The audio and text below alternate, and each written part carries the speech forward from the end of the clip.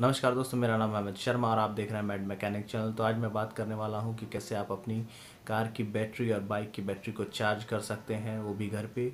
और कार और बाइक की बैटरी, अगर आपके पास कोई भी डेड बैटरी पड़ी है जो आप यूज़ में लेना चाहते हैं तो उससे कैसे रीयूज़ मिलें, आज मैं उस बारे में बताऊँगा। तो चलिए वीडियो शुरू करना सबसे पहले ये जान लेते हैं कि आप कितनी तरह से बैटरी को चार्ज कर सकते हैं।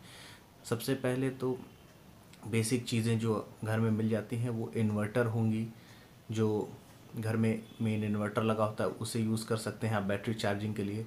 फिर दूसरा है, आप कंप्यूटर का यूपीएस यूज़ कर सकते हैं।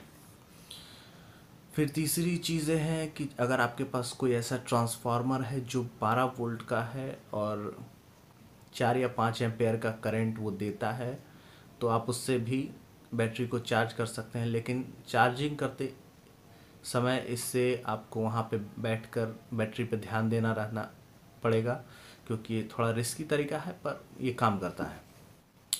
और अगर आप यूपीएस यानी कंप्यूटर के यूपीएस से बैटरी चार्ज कर रहे हैं तो क्योंकि यूपीएस जो है वो लिथियम आयन बैटरी चार्ज करने के लिए बना होता है तो उसका जो चार्जिंग करंट एम्पेयर में अगर कहा जाए तो काफ़ी कम होता है।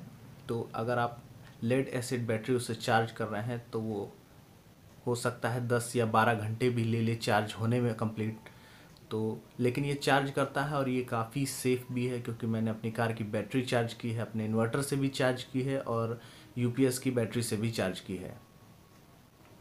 और एक तरीका है जो कि इमरजेंसी में कभी कभार काम आता है, अगर आपके पास कोई चार्जिंग ऑप्शन नहीं है, तब आप चार बैटरी को टेम्पररी इमरजेंसी के लिए आप जैसे पानी गर्म करने वाला रॉड आता है उससे भी चार्ज कर सकते हैं। बस आपको बैटरी को एक बाल्टी में डाल के उसमें पानी भर के और फिर वो रॉड डाल के पानी को गर्म करना रहता है, जिससे कि बाहर से जो थर्मल एनर्जी होती है वो अंदर की प्लेटों को गर्म करके अंदर जो एसिड है, यानी कहा जाए उस एसिड को इलेक्ट्रोलाइट वो चार्ज हो जाता है उसकी वजह से। तो वो बैटरी चार्ज हो जाती है और दोबारा यूज़ के लिए भी तैयार होती है। ये इमरजेंसी में तरीका है, क्योंकि ये तरीका मैंने अपनी कार की बैटरी में आजमाया था, क्योंकि अगर वो डाउन हो गई थी तो। फिर अगर आपके पास कोई ऐसी डेड बैटरी है तो आप उसे यूज़ कैसे कर सकते हैं दोबारा?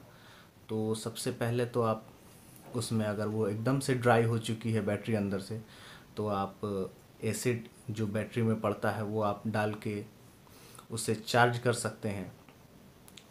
और अगर आपको वो भी नहीं करना है तो आप डिस्टिल वाटर लें, उसमें नमक मिलाकर बैटरी में डाल दें। अगर उसका जो पानी वाला होल है, अगर वो दिया हुआ है पानी डालने के लिए तो उसमें आप वैसे डाल सकते हैं। लेकिन आप यूज़ कर सकते हैं सिरिंज जो इंजेक्शन डॉक्टर्स यूज़ करते हैं, आप उसका इस्तेमाल कर सकते हैं। इसलिए काफ़ी आसानी से अंदर जो है वो पानी चला जाता है और जो अंदर बबल्स होते हैं वो नहीं बनते हैं और उसमें प्रॉपर पानी भर जाता है।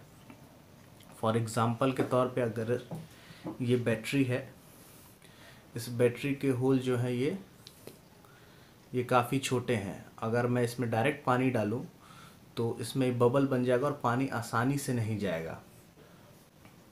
तो इसमें आप, ऐसी अगर कोई बैटरी आपके पास पड़ी है तो आप उसमें एसिड डाल के उसे चार्ज कर सकते हैं अपने यूपीएस से या इन्वर्टर से।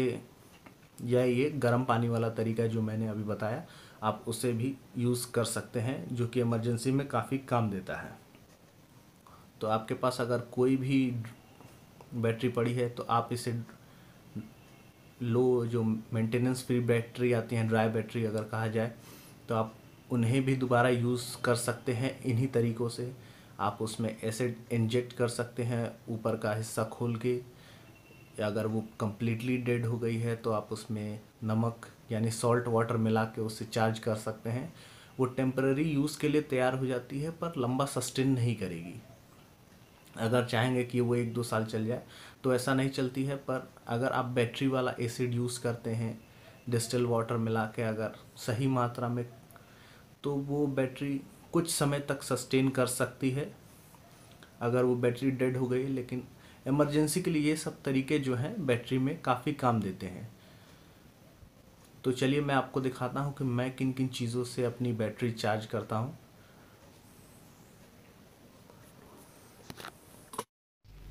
सबसे पहले तो आप देख सकते हैं, मेरे पास ये इन्वर्टर है। मैं इससे चार्ज करता हूँ बैटरी ये एक इन्वर्टर है मेरे पास। फ़िलहाल तो अभी इससे चार्ज नहीं कर पा रहा हूँ क्योंकि ये लो बैटरी को भी फुल चार्ज दिखा रही है तो इन्वर्टर ये मेरा हो गया ख़राब।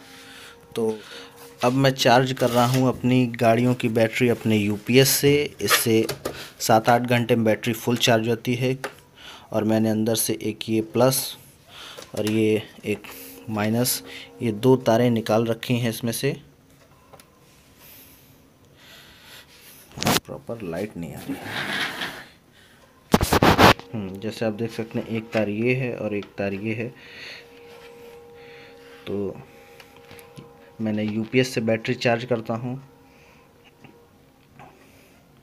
अगर आपके पास भी ऐसी बैटरी है कोई आप उसे दोबारा यूज़ करना चाहते हैं लाइट के तौर पे या किसी और चीज़ में तो आप इसे ओपन करें। अगर ये कम्प्लीटली ड्राई है तो डिस्टिल वाटर लें। अगर आपके पास बैटरी वाला तेज़ाब है तो भी आप यूज़ कर सकते हैं। अगर आपके पास टॉयलेट में यूज़ होने वाला एसिड है तो उससे भी आप बहुत हल्का सा नमक के साथ मिला के दोबारा इसमें डालेंगे और इसको थोड़ा एक दो घंटे चार्ज करेंगे तो ये दोबारा यूज़ के लिए तैयार हो जाएगी बैटरी।